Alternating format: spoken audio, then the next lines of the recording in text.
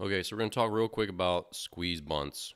So, you know, I'm not a fan of squeeze bunts. I don't think they make a lot of sense for the offense. I think sometimes they can, but in most situations, you know, if you have a runner on third with less than two outs, which is the only time you would obviously do this, you know, they're going to score 85% with no outs, and they're going to score, I think it's 60, 68% of the time with one out from third anyway. So unless your hitter is really, really inept and the infield's in, which they would be in this situation, you know, it's not going to make a ton of sense to squeeze. You're going to score that run a lot of the time. And, you know, obviously if you miss the squeeze, they're going to be out at third base. And with the pop up, you know, the inning's going to be over. So, if a team squeezes, I think it's a risky play for them. So I'm not overly concerned about how we do it.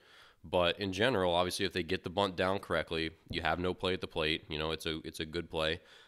Ditto with the safety squeeze, um, which I have here. Well, I thought I did.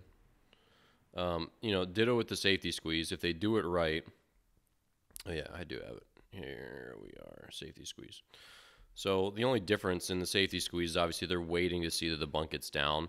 In this in the true squeeze play, they're gonna just bunt and the runner's gonna be sprinting and it's gonna be a do or die kind of thing. So, you know, with the safety squeeze or the regular squeeze, if they get the bunt down, it's not the worst bunt in the world.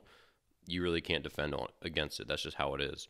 So again, they're playing for one run. If they want to do that, go for it. You know, and really just in general, the pitcher just needs to sprint.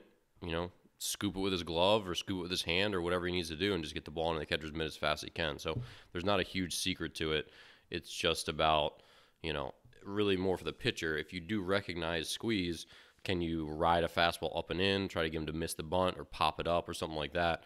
Well, other than that, you know, they're either going to put a bad bunt down and you're going to get him at the plate, or they're going to put a good bunt down and there's nothing really you can do about it. So pitchers, if you know you have to take more than a couple steps to get to that bunt, um, you know, you just got to go to first, get one out. You know, that's the biggest thing we need to do is just get one out. So uh, whether it's a safety squeeze or the regular squeeze, again, can't defend can't defend against a well executed safety squeeze or suicide squeeze.